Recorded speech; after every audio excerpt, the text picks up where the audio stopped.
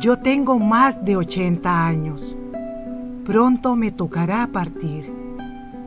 Por 40 años he sido esclava y por 40 años libre. Y estaría aquí 40 años más para conseguir derechos equitativos para todos.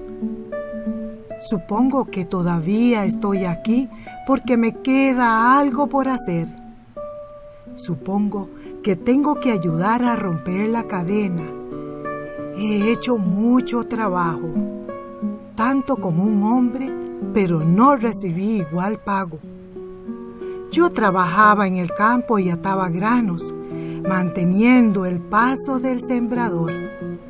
Pero los hombres que no hacían más recibían el doble del pago. Pasa lo mismo con las alemanas trabajan en el campo y hacen la misma cantidad de trabajo, pero no reciben el pago. Hacemos lo mismo, comemos lo mismo, queremos lo mismo.